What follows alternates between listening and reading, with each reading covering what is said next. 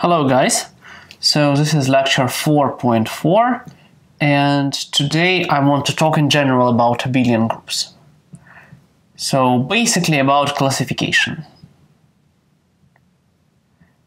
And I'm not going to do uh, the classification theorem of abelian groups in all details, but I will explain a considerable part of that and uh, we will come back to it next quarter. So Okay, so firstly, uh, so let's suppose that A is an abelian group. A is abelian. And uh, we know a bunch of examples already. So we know that Z is abelian. Uh, we know that Z over PZ is abelian, where P is prime. So these guys are called, uh, yeah, okay. And, and actually there is a Z over NZ for any N. And these guys are called cyclic groups uh, and um, of course, there are their products, z over pz times z over qz or something like that. And uh, the main idea is that if you just look at finitely generated abelian group, uh, it will be always a product of those. So uh, let me remind you this definition. So maybe I will formulate it in a slightly different way. So a group G is finitely generated um, if maybe there exists some elements g1 to the, the gn where n is some finite number such that g is just uh, you know, generated by them. So every element in G is a product of these guys and their inverses. And uh, of course, for abelian group, it's more convenient to write it down additively, so I'll write sum instead of product. And um, then we can look at abelian groups which are finitely generated. And the main result here is a theorem which says that uh, A is abelian finitely generated group, then A is a product of cyclic groups. So, so things like z times z times z over 5z times z over 25z and times z over 12z. That's an example of a huge abelian group. So now you probably understand why uh, product of groups is such an important construction. It's the simplest way to build groups from old groups. And that's an example of a large product which, which is abelian and uh, actually every finitely generated abelian group is not like is like that. So what is example of a not finitely generated abelian group? So we can take an example being Q as additive group. So this one is not not finitely generated. Finitely generated. And I don't want to formally write the proof, but like imagine it's finitely generated by some numbers uh, and they're rational, so I can write them in this way and uh, yeah, let's suppose, let me prove it. Let's suppose uh, this number is generated and, and there are some numbers up to mk and k. So let's suppose that. But uh, for any element, if you take any element which is a linear combination of those, which which uh, so if it is generated, it means every element is there. Uh, ah, sorry, let me let me say slightly differently. So, uh, so let's say it this way. So let's take so take uh, prime number p such that uh, um, uh, p does not divide n1 and so on up to nk. So consider a prime number which doesn't divide any denominator. And uh, I have not maybe proved that, but number of uh, prime numbers is infinite. And you probably know that the trick is to consider kind of product of all primes up to some prime at 1, and then this is a number which is not divisible by any of pi's, so it has to be divisible by some other prime, and in this way you prove their number is infinite. And so take prime, which is not, uh, which does not divide any of the denominators. And then we know that 1 over p is a rational number, right? So if rational number is generated by these guys, then we can write 1 over p as a sum x1 m1 over n1 plus plus xk mk over nk. And uh, uh, this x1 up to xk, they are integers, right? So finitely generated means every element is a product of elements in the generating set. It's a Abelian, you can rewrite them, and we write addition instead of multiplication. So uh, that holds. But then you can, uh, what it means, you can uh, say that this implies that n1 times and so on times nk equals prime times something complicated. And I, I can write it's like x1, n2, nk, m1 plus but anyways, it will be some something which happens when you just multiply in common denominator, and that's integer. And so the product, uh, so number p divides n1 times nk, and that's a contradiction.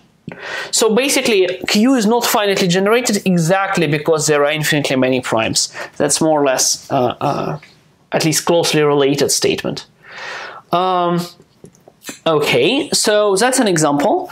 Uh, that's not finitely generated. Here is another one. So you can take uh, Q, and you know Q has a subgroup being Z, and then you take, can take a quotient group q factored over z. And that's pretty wild group. So these are rational numbers, but you identify them when they are different by an integer. And, and that's also not finitely generated. Not finitely generated. So you cannot present it as a product z times z times z times some number of z over n z's. Okay, so these are some counterexamples. Everything else is of this type. That's a classification theorem of abelian groups. So before I will prove that, uh, let me make a remark. So of course one can ask, okay, are these actually groups distinct? And first let's look at, uh, uh, you know, z over nz. And the idea is that actually z over 12z, for instance, is itself a product z over 3z times z over 4z. So that's a very important statement, and we have already discussed it a little bit. Let me maybe say again how that works. Okay, so theorem. Okay, so theorem. And that's again another version of something called Chinese remainder theorem. Remainder theorem. So that's a very important and very elementary statement in number theory which appears basically everywhere. So let me give one of the formulations. So suppose n and m are coprime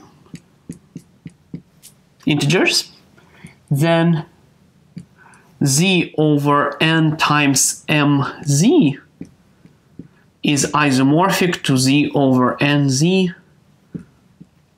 times z over mz. So uh, that's a very close story to a problem in your uh, midterm where there was a map from g to g factored over m times g factored over n and then, uh, so here, of course, G Z, and these are two subgroups. And then the statement was that if uh, M times N is G, then G over M intersect N is isomorphic to G over M times G over N. And, and indeed, this holds here because if you take G equal to Z, uh, and M being the subgroup generated by M, and N, guess what, is a subgroup generated by N. And then remember, we have coprime numbers, so what it means, it means that, so N and M are coprime, so it means that the subgroup generated by them, which is NZ plus MZ, is uh, the whole group, right? So remember, that's the one of the definitions of the greatest common divisor. And of course, if you use multiplicative notations, it just says uh, g equals m times n. Um, but on the other hand, you know that uh, that if you take the intersection, so m intersect n, then uh, basically what is this? So you take uh, numbers divisible by n, intersect them with numbers divisible by m. So these are uh, x an integer such that x uh, is divisible by n and x is divisible by m, but you know they are co-prime, so that happens, this is the same as integers divisible by nm. And so m intersect n is just nm times x times z. So so you get the statement. So so z over nmz is isomorphic to z over nz times z over mz.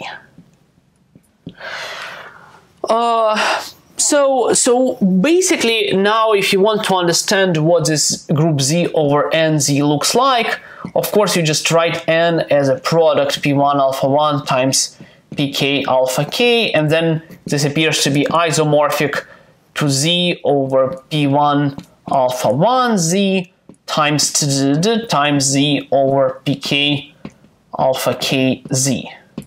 And so you can basically assume that every group, uh, so from the theorem above, you know that every group is a product of cyclic groups of type z over p power n z. So, so this uh, uh, theorem, Uh, uh, uh, which we formulated before, is equivalent to the statement that every abelian group, sorry, finitely generated abelian group is isomorphic to uh, a product of z and z over p power n z. But you should be very careful because the same prime can appear many times. For instance, if you just take, you know, uh, uh, prime p uh, equal to 2, you can have something like that. And that's absolutely not the same thing as z over 8z, for instance, though they have the same number of elements. And for this, just this has element of order 8, and this doesn't. And, and one can prove that actually this powers appearing there and the number of these are uniquely defined by the group. And let me not do that. Maybe I will come to that uh, in the next quarter. That's not hard. Uh, I will show just existence. And also I will do it a little bit by hand waving, but uh, the proof is actually completely rigorous. Um, okay, so let's go to this theorem. Okay, so now let me try to explain um, the proof of the theorem.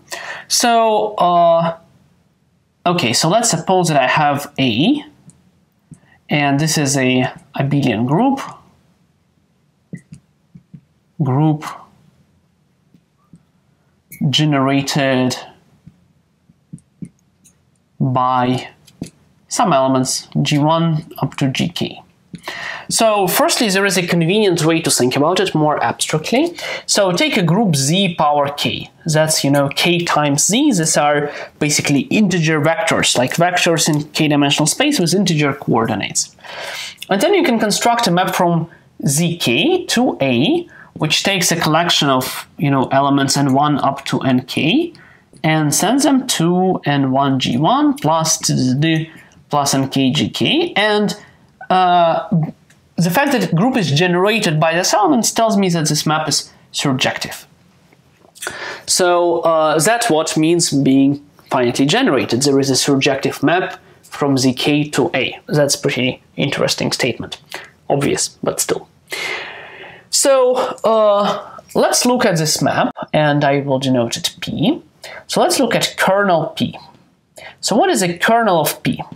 So these are relations. And what it means, it means that these are basically some equations which are satisfied by n1, uh, g1, and so on, and kjk. So these are elements, sequences n1 up to nk, such that n1 g1 plus tdd plus nk gk equals to 0.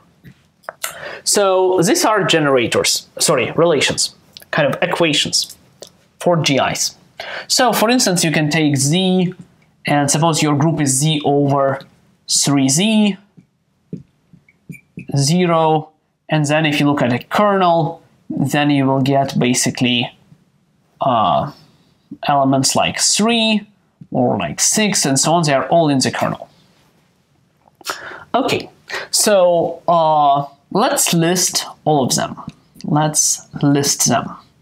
And you can ask like how that's possible, you know, the relations are infinitely many of those, but that doesn't matter, still countable, and so I can just write them down. So it will be like a huge system of equations, n11 g1 plus n1k gk equals to 0, n21 g1 plus plus n2k gk equals to 0, and so on. And uh, basically, the main idea is that I can perform what's called elementary operations.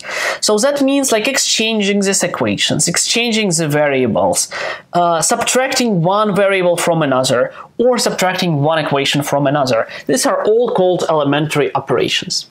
So elementary operations, elementary operations. And these are, uh, again, let me just say, so there are kind of two types here. You can uh, uh, permute uh, rows or columns, or you can add slash subtract one column from another. And and the main idea is that this is our innocent operations. So if you do them with rows, um, they will literally not change anything, just the order of equations change, that doesn't matter. If you do it with columns, uh, sorry, for permutations, if you do it with columns, this is just relabeling your GIs. If you permute first and second uh, uh, column, it's just the same as saying let's substitute G1 with G2 and G2 with G1. Uh, on the other hand, if you subtract or add equations, you see an equivalent system of equations. And clearly, if you know zk and you know equations, you know a because factor group, right? It's it's a quotient of z power k over this kernel. And when you just change, uh, subtract one uh, equation from another, then you will get equivalent system of equations. So that doesn't change much. It's it's basically changing, um, just renaming elements in the kernel. And when you change columns, this is changing a, a, a generator set. So let me look at some example. Let's suppose I have equations like 3g1 plus g2 equal to 0 and uh, 2g1 minus 2g2 equal to 0. So that's a pretty uh, natural system of equations. And then I can uh, apply uh, uh, this uh, transformations to simplify it. So this becomes equivalent to, if I subtract 2g1, I will get g1 plus 3g2 equals to 0, and 2g1 minus 2g2 equals to 0. Um, and then I can subtract again the first equation from the second, and I will get uh, g1 plus 3g2 equal to 0, and uh, I subtract twice, minus 6 minus 8, g2 is equal to 0. Okay, and finally, so I want to subtract the first column from the third, and this is basically relabeling. I take g1 prime being g1 plus 3g2, so I kind of add uh,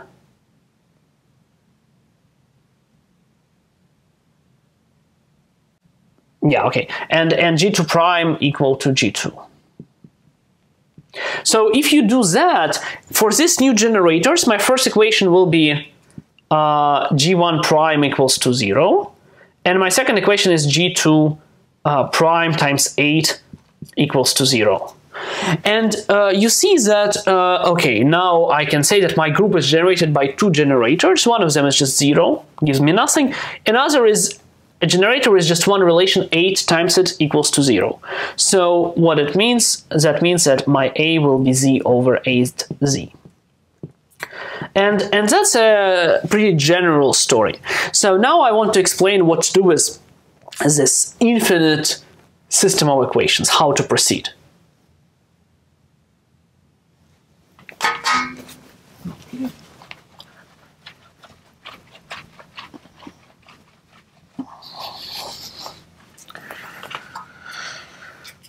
Okay, so the idea is very simple. So do row column operations to make um, n11 first enter uh, um, greater equals than 0 and uh, sorry greater equals than than 1 and as small as possible. So you can do that until if you have zero system equations, there is nothing you can do. But other than that, you can, you know, look at everything you can get. Of course, you can just find any non-negative element, move it up and left, and you will get something positive. And then by this induction minimal principle, you just choose among all options, you look at the system of equations where this number is as small as possible. So that's not a constructive procedure. It's not something you can actually do by hand very easily, but uh, um, there is an algorithm. I don't care. I just want to do it abstractly. And so now look what happens. So I have here some number n11 uh, g1 plus so what can I say about it? So uh, um, uh, the main idea is that actually, uh, uh, actually, all these elements and all these elements, these elements are divisible, divisible by n11. And the reason is that imagine it's not, so suppose something is not divisible and then you can divide it with remainder. Suppose somewhere here you see q n11 plus r, and then you can take the first column, subtract from this one q times, you will get r, move it to the first place, you get something smaller. So it's the same proof we did when we uh, proved that every subgroup of z is something times z, and so on. And so you get that, that if you believe that your choice is the smallest, then everything else is divisible by n11. And then by row and column separations, you can subtract the first column from any other uh, column and the first row from any other row. And you will get that you have n11g1 plus uh, 0, 0, 0, 0, 0. And everything below is still 0, 0, 0, 0, 0. So that's interesting. Uh, and and again, notice since I always can can do that, I don't need to know anything is finite. It's okay uh, to assume that my system of equations is infinite. That doesn't matter. And then I just reapply the same technique. So now I can say, okay, so uh, there is this uh, uh, smallest element, uh, I do columns and row operations on everything except the first and uh, column and row, so that this element n22 g2 becomes the smallest, and uh, then I subtract it from everything else and I get zeros.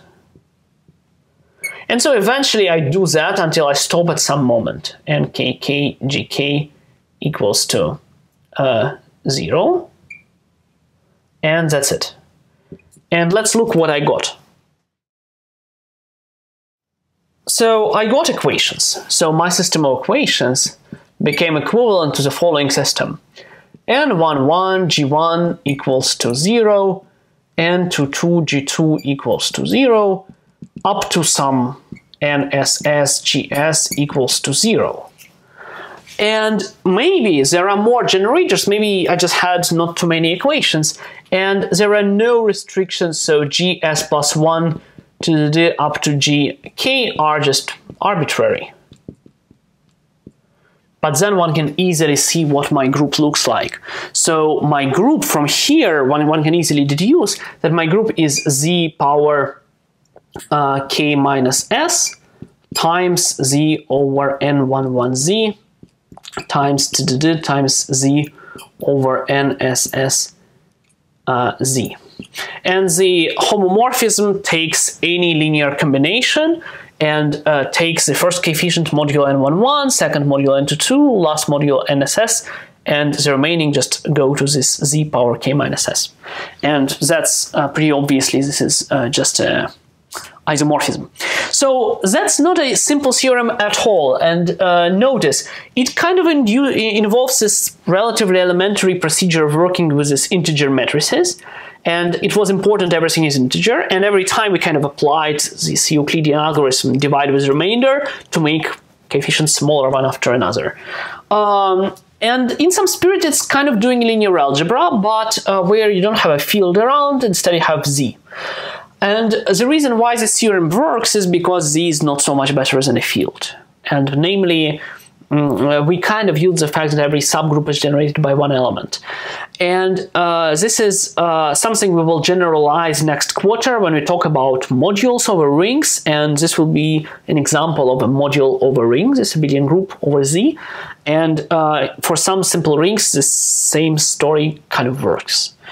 Um, try to understand the algorithm behind that and, and uh, exactly kind of what we did looking at this uh, uh, smallest element you can obtain by smallest positive element you can obtain by elementary operations.